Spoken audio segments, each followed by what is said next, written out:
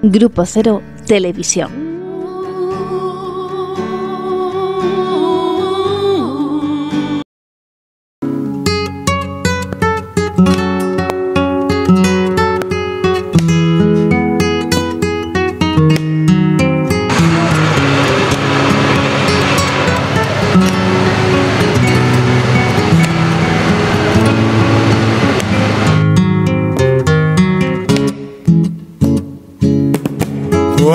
Padre dijo, quédate en casa, yo le dije soy joven y tengo gracia. Cuando mi padre dijo, quédate en casa, yo le dije soy joven y tengo gracia. Amo la fiesta, padre, y vida tengo apenas cuando no bailo. Hola amigos, muy buenas noches y bienvenidos a Leyendo Amenaza, un programa de Grupo Cero Televisión. Bienvenidos, bienvenidas. Vamos a seguir leyendo este libro. Este libro que tanto nos gusta. Es uno de nuestros libros de cabecera. La mujer y yo. Un libro donde encontrará múltiples historias de amor. De Miguel Oscar Menaza. Publicado en el año 2000. Y además este libro lleva un CD con los poemas acompañados de música precioso. Y un DVD además, o sea, vídeo y música. Vamos a compartir antes de comenzar la lectura.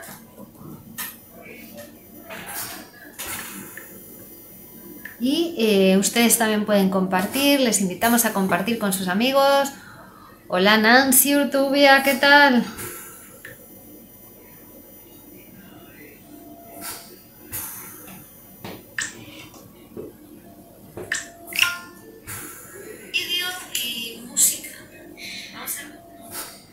Bueno, vamos a enviar por aquí.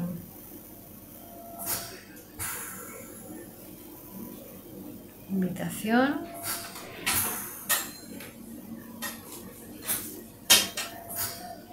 ¿Cómo están? Buenas noches, buenas noches. Bienvenidos a este encuentro con la lectura y la escritura de Miguel Oscar Menasa.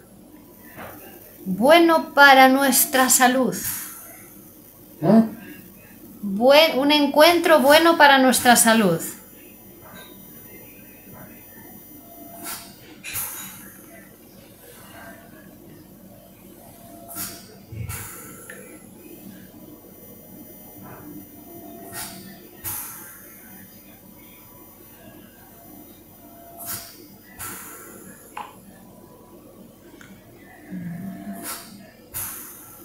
Tal amigos? Estamos a puntito de comenzar la lectura.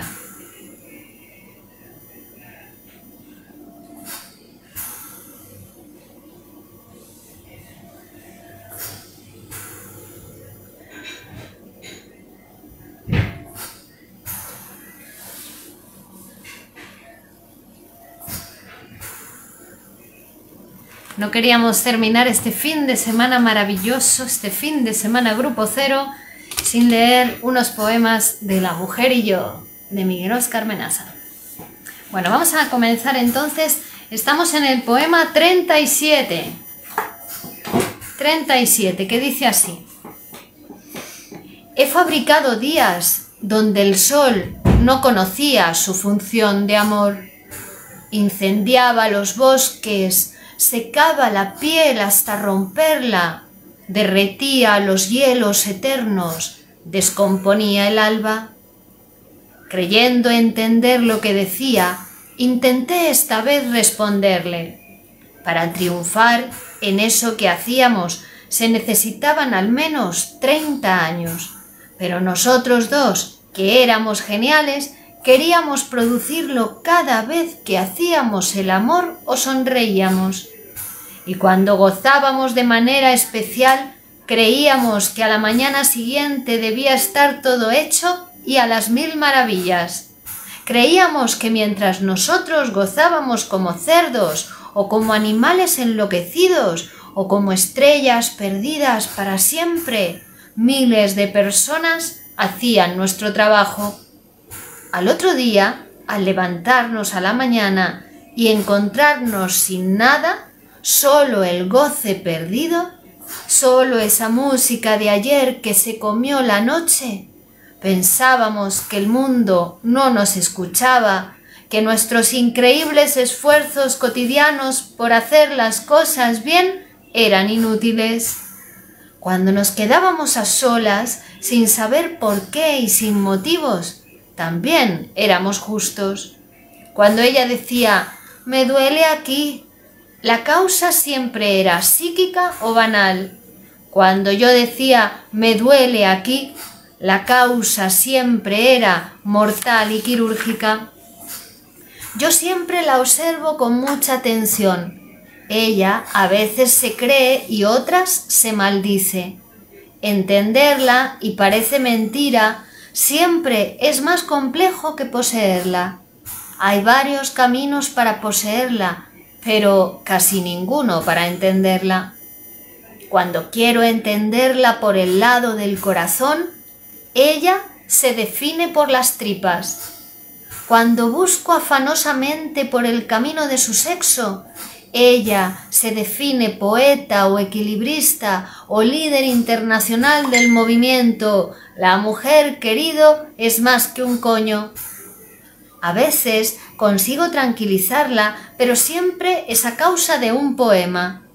Después se hace la distraída y me habla de follar a la deriva.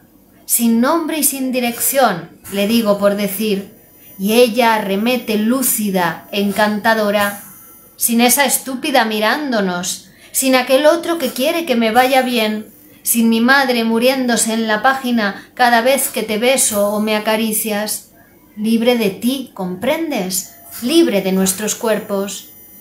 Sórdido sonido de la noche, murmuré. Llevas razón, amada, vendrán otros amores, vendrán otros amores a generar la nada, pero tu piel, amada, no se detendrá jamás. Qué bonito. Rosalba Pele lo está viendo. Paqui Robles saluda. Buenas noches. Nancy Urtubia manda corazones. Graciela Iglesias saluda. Hola. Muy bien. Estamos leyendo La mujer y yo, un libro de Miguel Oscar Menaza de la editorial Grupo Cero, que incluye un CD y un DVD. Si alguien lo quiere adquirir, puede hacerlo a través de la editorial Grupo Cero. Ayer, mientras dormía, escribí el poema número 37, que ¿Te levantaste y yo no escuché nada? No, no, le dije, lo escribí sin escribirlo. ¿Y dónde está ese poema mágico? Al no poder escribir, me di cuenta que en el sueño el poema ya estaba escrito. La noche se apropió de los versos y la muerte en el sueño hizo desaparecer la noche. Tanto viaje de aquí para allí el verso se debe haber perdido para siempre o quedará grabado en algún astro o se quemará chocando contra el sol. Así cualquiera sueña y dice que escribió un poema. Total, perdido o incendiado, nadie podrá nunca saber la verdad. A la mañana siguiente le pregunté, sarcástico, ¿qué tal? ¿Escribiste soñando un poema espléndido? ¿Qué va? Esos serán los sueños de un poeta famoso como tú. Yo soñé que me arrastraba por el empedrado y los vecinos, creo, me llamaban puta. Después, tal vez avergonzada, me soñaba sentada tratando de escribir y sobre la hoja en blanco aparecían las cuentas de la compra. Bueno, aunque no exactamente. Para chorizo, el de su marido para huevos los de su vecino, A la gordita, refiriéndose a mí, no le cobres las zanahorias, que no las usa para comer. Corazones a bajo precio, con amor, sin amor, crueles, corazones sin ningún latido, zumo de corazón caliente o frío y envolturas de nácar para cada cabello que tú hayas besado al menos una vez, y después, bien lavados, todos en fila, penes de todos los tamaños. Yo, en el sueño, era muy respetuosa. No miraba demasiado y no tocaba nada, pero hubo un pene que me gustó y no más pensarlo lo tuve entre las piernas. Después, el sueño se hizo muy confuso. Aparecías tú y ponías caras. Cara de haberlo hecho mejor, cara de estar adentro de mi poema o sueño, cara de ser el único capaz de amar. Tú en verdad no decías nada. Y además no tenías ni siquiera rostro, pero estabas ahí, con tu cara de Dios, con tus brazos indicando dos direcciones, imponiendo por un lado mantener el silencio, dejar las cosas como están, seguir esclava, y con el otro brazo imponías, no sé, como una oscuridad, todo borroso, todo por hacer, todo por inventar. Y fue ahí donde volví a despertar y una vez más volví a creer que era para siempre. ¡Wow! ¡Qué bonito! Carlos Latorre saluda. Buenas noches, Virginia. Saludos amenaza. Hola, Carlos. Paqui Robles dice, el mejor tratado sobre la mujer, el hombre y las relaciones entre ellos. Sí, efectivamente, la mujer y yo. Mar Mar Lozada, saludo. Hola, saludos. Hola, Mar Mar Lozada. Seguimos. Estamos leyendo La mujer y yo. Poema 39. Poema 39. ¿Viste cómo te miró esa? Le dije. A lo mejor te mira a ti y quiere ligar conmigo. Seguramente algo le habrás contado. Sí, me dijo ella. Cuando nos acostamos juntas al atardecer, cuando tú trabajas o tienes tus estudios y nos divertimos y gozamos y yo le cuento que te quiero mucho y algo te respeto, también otras amigas le hablan de ti con mayor entusiasmo, con deseos. Cuando yo la penetro con mi pene virtual, mezcla de sabiduría, carne, basura y sabiduría, ella grita tu nombre en la penumbra y ahí tú eres el que nos ama para que nosotras dos hagamos el goce todo nuestro. Es como jugar a los dados, pero al revés. Generalmente, para filósofos y poetas, un día el hombre ha de tirar los dados y al detenerse, esa cifra es la verdad del hombre. En este poema, querido, los dados te tiran a ti. Y yo y esa otra mujer que me acompaña, que no puede dejar de ser yo misma, seremos lectoras y jueces de tu suerte. Si la suerte te toca escalar posiciones, haremos de ti sencillamente un pobre idiota. Entre ella y yo te chuparemos por atrás y un poco por delante para que el pasado no nos abandone definitivamente porque eso, según mi profesor de Kikiriki, también es la muerte. Un poco con los cojones tocados le pregunté, ¿y tú sabes lo que quiere decir atravesarla con mi canto? Desde el Mediterráneo hasta los Andes, hacerla gritar de goce en el Aconcagua para que su ternura vuele hasta el Himalaya y después tranquilamente hacérmela chupar ¿Y tú sabes lo que quiere decir mirar a una mujer todo el tiempo sin tocarla durante 50 años, día y noche, para verla morir en otros brazos sin una pizca de dolor todavía virgen? ¿Y tú sabes lo que quiere decir la cabeza del rival como caída de su cuerpo y todavía es necesario una patada más para que desaparezcan cuerpo y cabeza? Para ganar la guerra, no sé si lo sabías, es necesario que del otro lado no quede nada. No solo matar a sus mejores soldados, sino también violar a sus mujeres, quitarle la educación a los más pequeños.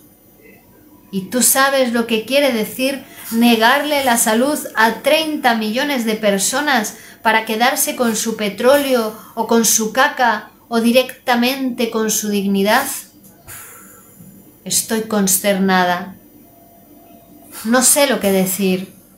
Cuando se mezclan de ese mono salvaje, humano y mierda, humano y destrucción, humano y muerte. No sé, me siento a veces yo también una fiera, con los dientes afilados arrancándote el corazón, cuando caigas indefenso en los brazos de otra mujer, siempre desconocida. No sé qué decir, pero mañana mismo le escribiré una carta al presidente. ¿Está bien? Bueno, con este poema nos despedimos, queridos amigos. Hola, Carlitos. Buenas, buenas noches. Hasta mañana, que descanses. Teresa Poi dice, seguimos aquí con vosotros. Saluditos efusivitos. Dice Paqui Robles, lo más impresionante es la gran enseñanza que transmite. Ah, lo, lo más impresionante es la gran enseñanza que transmite el libro. La mujer y yo, un tratado sobre las relaciones entre el hombre y la mujer de nuestro siglo. Buenas noches Virginia y maestro Menasa, dice Paqui Robles. Bueno, ahora sí, gracias amigos, hasta mañana, que descanséis.